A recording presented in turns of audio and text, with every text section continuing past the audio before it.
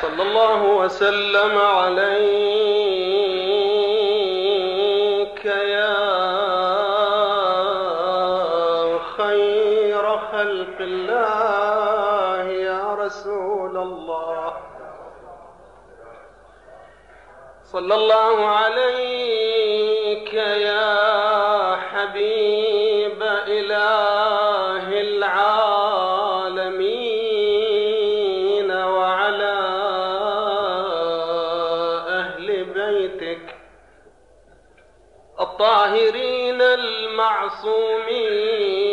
المعصومين الذين أذهب الله عنهم الرجس وطهرهم تطهيرا سادتي ما خاب من تمسك بكم أمن من لجأ إليكم يا باب الرحمة ونجاة الأمة. وما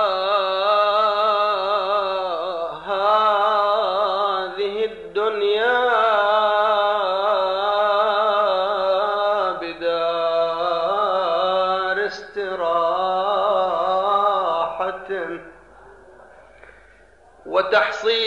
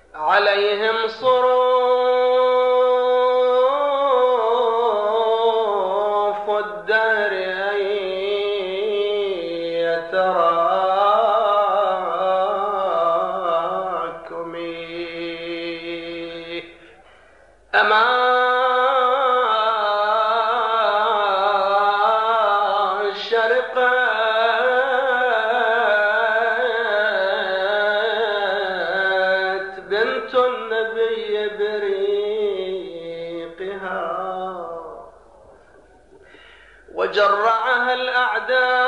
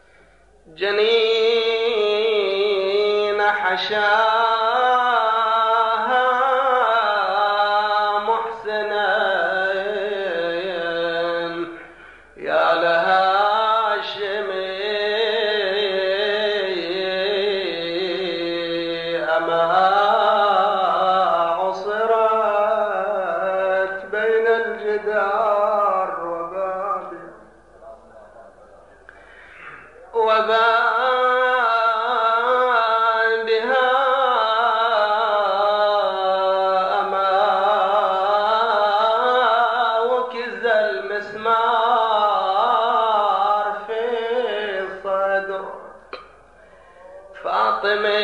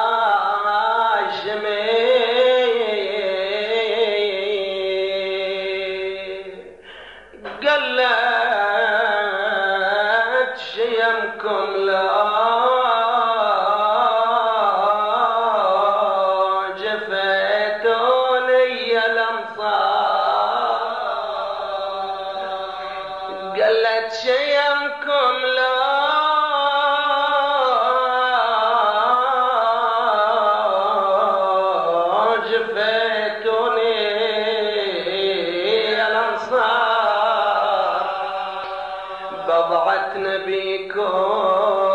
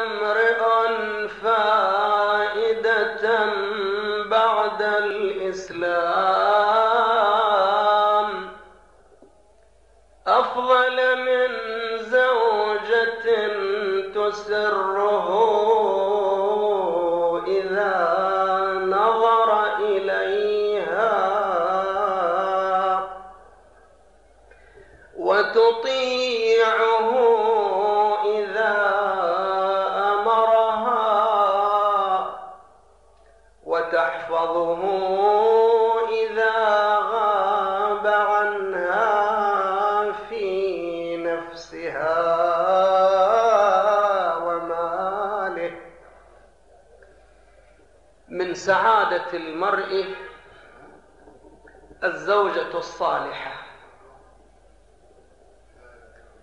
في الزوجة الصالحة سعادة للمرء وبهجة ونيل لخير كثير.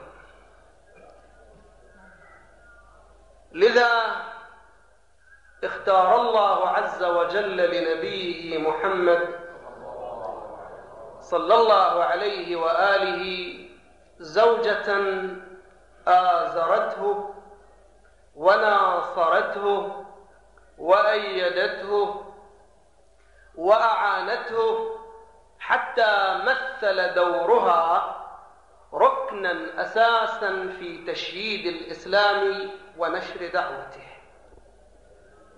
فلقد علم أن الإسلام قام على دعامتين بالإضافة إلى الدور الأعظم للرسول الأكرم صلى الله عليه وآله جهاد علي ومال خديجة. خديجة عليها السلام التي جاء جرح فقدها في قلب رسول الله صلى الله عليه وآله تباعا لجرح عميق آخر هو جرح فقد عمه وكفيله أبي طالب عليه السلام. أبو طالب الذي ورد في مصادر التأريخ الإسلامي أنه بكى على فقده رسول الله. صلى الله عليه وآله وأبكى من حوله. وقال في ضمن ما قال ما نالت قريش مني شيئا إلا بعد فقدي لأبي طالب. وإلا وجود أبي طالب شكل حصنا منيعا لرسول الله صلى الله عليه وآله من بطش قريش. وما زال النبي صلى الله عليه وآله حزينا على فقد عمه الذي قضى في الحياة أكثر من ثمانين سنة تقريبا وبعد فقده بأشهر أو بأيام على قول. بعد فقد أبي طالب بأشهر أو بأيام وكان النبي صلى الله عليه وآله جراء فقد أبي طالب يلم به الحزن والأسى ويعتصره ألم فراق الكفيل المحامي لكنه ما أن يدخل إلى بيت زوجته الصالحة. يجد الصدر الحنون واليد العاطفة التي تخفف عناءه. والتي تشاركه آلامه وأحزانه وترفع الكثير من معاناته صلى الله عليه وآله. ولكن بعد تلك الفترة القصيرة من فقد أبي طالب وإذا به صلى الله عليه وآله ينظر إلى خديجة ترتعد على فراش المرض. ترتعد إذ ألم بها السقم والمرض والألم. إلى أن إلى أن قضت نحبها ولقيت ربها فجرح قلب النبي صلى الله عليه وآله الجرح الآخر المؤلم الذي من جرائه وجراء جرح فقد أبي طالب هو بنفسه صلى الله عليه وآله سمى ذلك العام وهو العام العاشر لبعثته صلى الله عليه وآله بعام الحزن. عام الحزن عام البكاء عام المأتم على فقد شخصيتين جليلتين. كان لهما دورا دور كبير في بناء الإسلام ونشر دعوته. فخديجة عليها السلام وهي سيدة نساء مكة المرأة القرشية ذات الشرف والسؤدد ذات المجد العفيفة المصونة الشخصية الإيمانية. هذه المرأة التي إلى جانب عفافها ومجدها وشرفها كانت امرأة ذات دور فاعل في أمور الحياة على صعيد كسب مؤن العيش ولوازم الحياة. كان لها دور في الكسب والتجارة وقد عرفت بأنها من أثرياء مكة. امرأة صامدة لها دور فاعل وإيجابي على صعيد الكسب في مجال التجارة فكانت تضارب الرجال من ذوي الخبرة في التجارة تضاربهم وتوظفهم عندها. بعضهم يكون أجير يعاملها على نحو المضاربة يكون الربح بالنسبة بينها وبينه فكانت تستورد البضائع من الشام واليمن وتصدر بضائعا من مكة إلى الشام وإلى اليمن وإلى غيرها فجمعت ثروة كبيرة. شرف ومجد وسؤدد وثروة خطبت وطلبها الأشراف والزعماء والسادة إلا أنها كانت عازفة عن الدنيا ومن يطلب الدنيا. إن كل من تقدموا إليها منهم الطامع في مالها ومنهم من هو عبد للدنيا وكانت امرأة صالحة تبحث عن سبيل النجاة والفلاح. لذا ما أن بلغها جراء ما يخبر به الأحبار والرهبان والعلماء عن النبي صلى الله عليه وآله وعن مستقبل دعوته ونبوءته من جانب ومن جانب آخر ما شاع وذاع في مجتمع مكة من نور مشرق لأخلاقية ذلك المولود الطاهر الذي أخذ بالقلوب واجتذب الضمائر فعرف فيما بينهم بالصادق الأمين. الشخصية الصادقة المؤمنة. ولهذا أبدا ليس على رسول الله صلى الله عليه وآله مأخذ في كل شيء. أعداؤه يقرون له بعظيم الفضل وعظيم الشأن حتى أنهم فرحوا لما اختلفوا في وضع الحجر. أي أي قبيلة تنال شرف وضعها؟ فاتفقوا أخيرا أن أول قادم عليهم يحكم في أمرهم وإذا هم بمحمد صلى الله عليه وآله. فابتهجوا وضجوا وقالوا جاءنا الصادق الأمين رضينا به حكما وحكم فيما بينهم بأفضل حكم.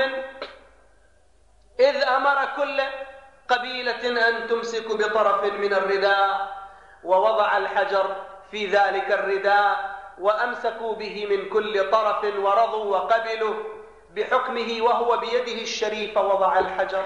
صلى الله عليه وآله. كل هذه الأمور كل هذه المكانة للنبي صلى الله عليه وآله جعلت من خديجة تعرض هي تعرض نفسها عليه صلى الله عليه وآله. هي التي عرضت نفسها عليه. والرواية يرويها عمار بن ياسر في تاريخ اليعقوبي واليعقوبي من قدماء المؤرخين. وينص اليعقوبي أن رسول الله صلى الله عليه وآله ما كان يوم من الأيام أجيرا إلى أحد. ما كان أجير إلى أحد حتى إلى خديجة. ما كان أجير أبدا. وإنما وإنما تعامل معها بطريقة المضاربة. المال من عندها وهو عليه عليه أن يتولى دور, دور المتاجرة في المال على أن يكون الربح مقسوما بالنسبة بينها وبينه وهي التي عرضت عليه أيضا ما طلب هو. أبو طالب اقترح على النبي صلى الله عليه وآله اقترح عليه وقال له الناس يتاجرون في مال خديجة فلو طلبت منها أن تعطيك شيئا من مالها تتاجر به. كان الظرف عصيب وفقر. فقال صلى الله عليه وآله أو لعله أضاف هكذا إنك إذا طلبت منها لن تتوقف في إجابتك لأنك الصادق الأمين وهي تبحث عن أمين لمالها. ماذا قال النبي صلى الله عليه وسلم؟ قال لعلها أن تبعث إلي. هو ما عرض نفسه لسمو شأنه. هو لم يعرض نفسه. قال لعلها تبعث إليه وبالفعل لما وصل الخبر إلى خديجة خبر عرض أبي طالب على محمد صلى الله عليه وآله. هذا الطرح هي بنفسها أرسلت إليه. صلى الله عليه وآله وعرضت عليه أنها تعطيه ضعف ما كانت تعطيه لغيره من الرجال الذين يضاربونها في المتاجرة. هي طرحت عليه اقترحت عليه أنها تعطيه ضعف إذا كان البعض يأخذ واحدا مثلا في المئة هو يأخذ اثنين في المئة في المضاربة على نحو التمثيل. فقبل صلى الله عليه وآله. قبل وذهب وأرسلت. معه من يخدمه؟ غلامين يخدمانه صلى الله عليه وآله. وقد قالت في وصيتها لهما ما مؤداه؟ إني ابتعثت معكما أمير قريش. وسيدها. هي كانت تعرف وتعلم بهالشخصية عندها معلومات. استفادت من معارف وعلوم أن هذا هو سيد قريش هو أميرها. هو خير من على هذه الأرض. لا تخالفوا في, في أمر. اعتنوا به. وصايا عديدة. على كل حال وظهرت الكرامات لرسول الله صلى الله عليه وآله في رحلة التجارة وسجلها ميسرة وبلغها خديجة بعد العودة بالإضافة إلى الأرباح الغير متوقعة أبدا. أرباح كبيرة في تلك الرحلة التجارية. هذا من جانب. هي عرضت عليه أمر التجارة وهي عرضت عليه أمر الزواج مثل ما يروي عمار بن ياسر في تاريخ اليعقوبي يقول أنا أعرف الناس بزواج النبي صلى الله عليه وسلم من خديجة فقد كنت أسير معه بين الصفا والمروة فأقبلت هالة زوج أخت خديجة أقبلت هالة أخت خديجة وقالت إلي قل لصاحبك ألا يرغب في الزواج من خديجة؟ يقول فأخبرت النبي صلى الله عليه وآله بذلك وتفضل هذا العرض. الرسول صلى الله عليه وآله له جمال الجسد وله جمال الروح وكل بنات قريش يتشرفن ويرغبن ويلهثن وراءه لو تقدم إلى خطبتهن. والآن التي تعرض عليه نفسها امرأة مشرفة على الأربعين أو بلغت الأربعين. ولعلها أيضا بعد بعد زوج ثيب أيضا. حتى ننظر أن النبي صلى الله عليه وآله كان من صغره همه همه بناء المجتمع ونشر دعوة الحق. وكان يعمل على إيجاد أي عامل معين ومساعد على نشر الدعوة.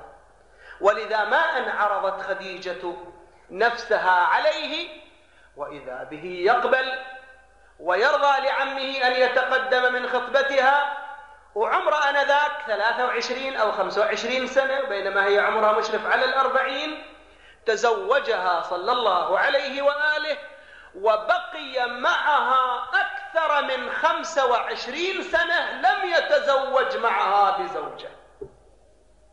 ما تزوج مع خديجة بزوجة أخرى. ولم يتزوج النبي صلى الله عليه وآله إلا بعد فقد خديجة لما كان له من العمر سبعة وخمسين سنة. حتى تعرف عدد الزوجات اللي صار عند النبي صلى الله عليه وآله شنو غرضه؟ عمره سبعة وخمسين سنة لما بدأ يأخذ الزوجات الكبار في السن. اللي أكثرهم عجائز وكبار في السن لأنهن مسلمات ورعات وبدون والي وبدون حامي بدون كفيل فأراد أن يرعاهن وأن يؤويهن من جهة. وهناك أيضا مصالح أخرى للدعوة اقتضت أن يتزوج بفلانة وفلانة. إنها مصالح الدعوة وإلا هو ما بدأ أبدا من صغره في عنفوان شبابه. ما تزوج بذكر تزوج بخديجة وبقي معها إلى ما بعد الخمسين. إلى ما بعد الخمسين لم يتزوج غيرها صلى الله عليه وسلم. لكنه وجد في هذه المرأة الحضن الذي يؤويه والسكن الذي يرعاه ويخفف من معاناته آزرته ونصرته هي أول المسلمات أول المصدقين بدعوته صلى الله عليه وآله. المرأة التي سرت قلب النبي صلى الله عليه وآله. سرت قلبه وشرحت صدره وأنجب منها الولد ستة. أنجب منها ستة. ولدان وأربع بنات. القاسم الذي توفي وهو صبي مثل ما يقول الغزالي يقول لما استطاع يعني القاسم توفي بعد أن استطاع أن يصعد على الفرس أو النجيب أو الجواد. في سن أهله إلى أن يصعد على الجواد في هذا السن توفي القاسم. الولد الثاني عبد الله وهو الطاهر الملقب بالطيب والطاهر هذا توفي وهو صغير جدا. في الصغر أصغر من القاسم توفي. الأربع البنات زينب وأم كلثوم ورقية وفاطمة عليها السلام. ثلاث منهن وافاهن الأجل في حياة رسول الله صلى الله عليه وآله والوحيدة التي بقيت هي فاطمة الزهراء عليها السلام. ولهذا المشركين من قريش يقولون عنه الأبتر لا ولد له. فبشره القرآن. القرآن بشره بما لفاطمة عليها السلام من خير وبركة. إنا أعطيناك الكوثر فصل لربك وانحر إن شانئك هو الأبتر. وإذا ذرية النبي صلى الله عليه وآله من النسلة الطاهرة فاطمة الزهراء عليها السلام. خديجة سرت قلب النبي صلى الله عليه وآله وآزرته وهكذا يراد من كل امرأة مسلمة أن تكون معينة مؤازرة على الحق والهدى تعين زوجها وأبناءها على الاستقامة وعلى إقامة دين الله. على الالتزام والدين هذا دور المرأة دور الأم. النبي صلى الله عليه وسلم هكذا يقول ما استفاد امرؤ بعد الإسلام فائدة أفضل من زوجة. تسره إذا نظر إليها باعتبار الزوجة بمثابة السكن للزوج والمأوى. بل القرآن يقول هن لباس لكم وأنتم لباس لهن المرء باللباس يتوقى الحر والبرد باللباس. إذا الزوجة هي بمثابة المأوى هي بمثابة الملبس الذي يحمي جسد الإنسان. كل هذه الصفات توفرت في خديجة تسره إذا نظر إليها وتطيعه إذا أمرها. وهنا نسأل الزوجة تطيع زوجها في كل الأوامر؟ كل ما يأمر هذا المراد هكذا تطيعه إذا أمرها. كل أمر يأمر الزوج زوجته يجب أن تطيع. لا أبدا. أبدا. الزوجة والولد يطيعان في الأوامر التي فيها مرضاة الله عز وجل وإلا لا طاعة لمخلوق في سخط الخالق. ولهذا لما سأل أحدهم الصادق عليه السلام وعلى ضوء قوله تعالى قوا أنفسكم وأهليكم نارا وقودها الناس والحجارة. سأله كيف أقيهم؟ قال تأمرهم بما أمر الله وتنهاهم عما نهى الله فإن أطاعوك كنت قد وقيتهم وإن عصوك كنت قد قضيت ما عليك. ولذا أبدا لا يستجاب للزوج لو أمر بمعصية لا يستجاب للزوج لو طلب من الزوجة أن تسهر على اللهو والحرام. لا يطاع الزوج لو طلب من الزوجة أن تشرب الحرام أو تأكل الحرام أو, أو تتبرج أو تسفر أو تمارس ما لا يرضي الله عز وجل. لا أبدا. المفروض أن الزوج هو له دور المربي والمرشد والمسدد. للأسف في الواقع للأسف أن أن بعض الآباء والأمهات أيضا وكما يقول الحديث إذا كان في آخر الزمان في آخر الزمان ويل للأبناء من الآباء.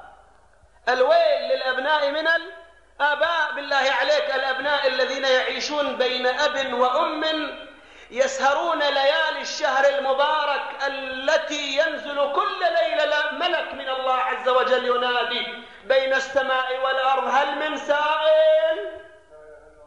هل من مستغفر؟ وإذا بعض الآباء والأمهات بدل الاستغفار والدعاء والصلوات والقرآن بيوتهم معمورة بالمسلسلات الخلاعية والأفلام الماجنة التي تفسد الدين والخلق. والأب والأم يسهر على هالأفلام وصلاة الصبح ما يصلون. بالله عليك لهالأبناء اللي بيتربون في هالبيت بيصلوا صلاة الليل. إذا الأب والأم يتركون صلاة الصبح لا لا يؤدونها في وقتها. طوال الليل يسهرون على الأمور التي تفسد وتذوب الإرادة الإيمانية. لا ريب أن هؤلاء الأبناء يتربون على ترك الصلوات. وإذا تركوا الصلوات ماذا يبقى بعد؟ انهدم ركن الدين كله. انهدم ركن الشريعة كله. هكذا يراد من الأم والأب أن يكون لهم دور البناء والإصلاح والتربية الصالحة. الإمام الحسن عليه السلام هكذا يصف فاطمة الزهراء عليه السلام. يقول رأيتها ليلة جمعتها تصلي لربها قائمة بين يدي ربها على مصلاها. تصلي وتتهجد وتدعو. يقول أصغيت إليها ما سمعتها دعت إلى نفسها. تدعو للمؤمنين والمؤمنات. يقول حتى سألت أم أم ما سمعتك دعوت لنفسك؟ قالت له بني الجار ثم الدار. هذا القلب المعطاء المتدفق. عطاء إلى الناس عطاء وخير إلى الكل. بينما هناك قلوب تحمل الشر إلى المؤمنين وإلى الناس. قلوب أهل الصلاح تحمل الخير والبر إلى جميع الخلق إلى جميع الناس. فاطمة عليه السلام المربية وهكذا يراد من كل مرأة مسلمة. ألا أخبركم بخير نسائكم؟ النبي صلى الله عليه وسلم. قالوا بلى يا رسول الله. قال إن خير نسائكم الولود الودود العفيفة الستيرة. العفيفة الستيرة. العزيزة في أهلها الذليلة مع بعلها المتبرجة مع زوجها الحصان عن غيره. التي تسمع قوله وتطيع أمره وإذا خلا بها بذلت له ما يسره منها ولم تتبذل تبذل الرجل. يقول علي بن الحسين عليه السلام خير نسائكم الطيبة الريح الطيبة الطعام التي إن أنفقت أنفقت بمعروف وإن أمسكت أمسكت بمعروف فتلك هي من عمال الله وعامل الله لا يخيب ولا يندم. يقول الصادق عليه السلام خير نسائكم التي إن غضبت أو أغضبت قالت لزوجها يدي في يدك لا أكتحل بغمض حتى ترضى عني. هذه بعض جوانب الصلاح. والصفات الحميدة في الزوجة إلى جانب العفة والصون والنزاهة والحجاب وإلا فالأم المتبرجة السافرة ستربي بنات سافرات لا يتورعن من تبرج وسفور. هكذا يجب يجب أن يتأسين النساء ويقتدين بمثل خديجة التي هي دعامة وركن في نشر الدعوة والحق. يجي رجل إلى النبي صلى الله عليه وآله يقول له إن لي زوجة إذا دخلت تلقتني وإذا خرجت شيعتني وإذا رأتني مهموما قالت لي ما يهمك؟ إن كنت تهتم لرزقك فقد تكفل به غيرك وإن كنت تهتم لآخرتك فزادك الله هما. إذا همك لأخراك إذا همك لقيامتك إذا, إذا, كان همك إلى حشرك ونشرك خائف من ربك هذا ما تريد الزوج أن تضاعفه فيه وتزيد له منه. قال له النبي صلى الله عليه وآله بشرها بالجنة. إن لله عمالا وهذه من عمال الله لها نصف أجر شهيد الزوجة الصالحة من عمال الله عز وجل تبني وتصلح بينما اللواتي لسن على هذه الصفة عوامل هدم في المجتمع عوامل ترمي الأبناء والبنات. في مستقبل مظلم نستجير بالله عز وجل منه. فلنؤوب إلى ربنا هذا الشهر المبارك شهر النشاط العبادي شهر العودة إلى الله عز وجل فليجسدنا الأمهات والزوجات دور العون والمساعدة والنصرة إلى الحق والدين والالتزام كما أعطت خديجة وكما أعطت فاطمة. سلام الله عليها. التي هي بدورها أعطت العطاء الكثير الكثير إلى الإسلام وإلى نبي الإسلام وإلى وصي الإسلام. سلام الله عليه. إلا أنها لقيت لقيت من أمة تنتسب إلى الإسلام لقيت من الأذى ومن البلاء ما أعربت عنه وهي تشم ثرى قبر أبيها. تمد يدها على ثرى ذاك القبر تقبض قبضة من, من تراب ذلك القبر. تشمها تعفر بها ناصية تمسح التراب على ناصيتها. وتنادي يا بابا فلا أجعلن الحزن بعدك مؤنسي ولا أجعلن الدمع فيك وشاحيا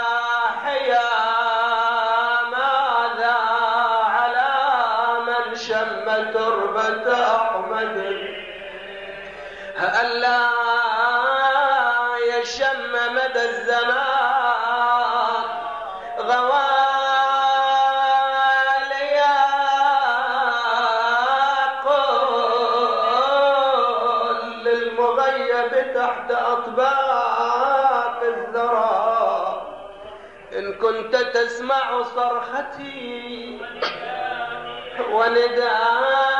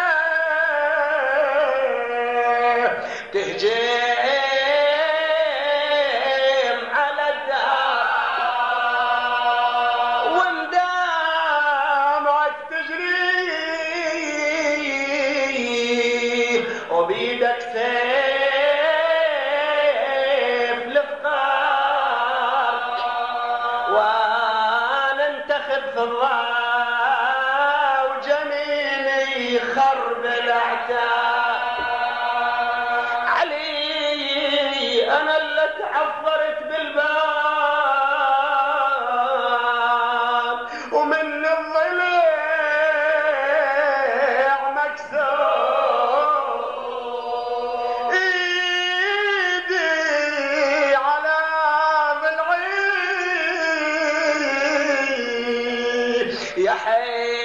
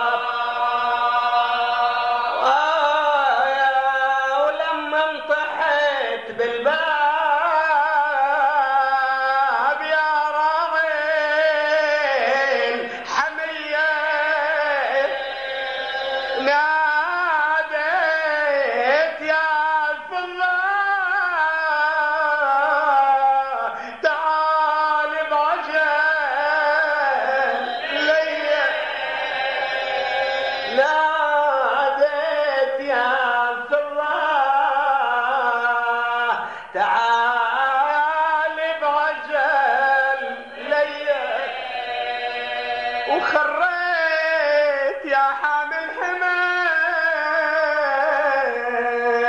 مغشي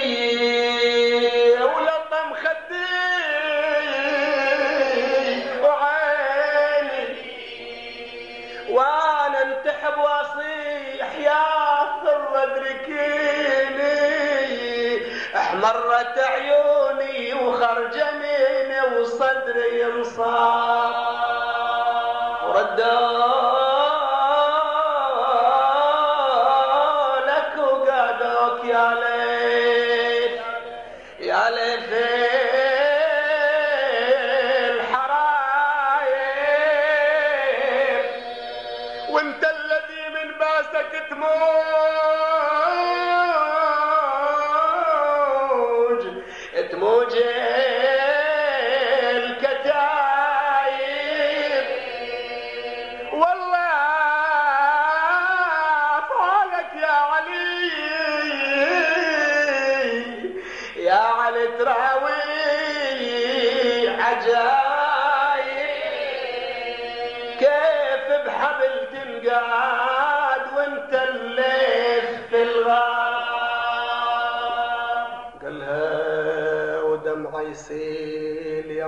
الحسن وحسين تدرين بالمعروف فارس بدر وحنين انزع قلوب الشوس بس بنظرة العين غصب علي أشوف يتمزق لك كتاب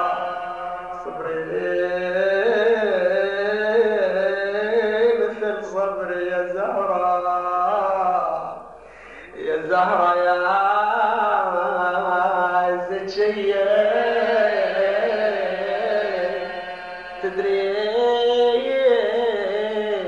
أنا ما حد كفو يجسر يجسر علي.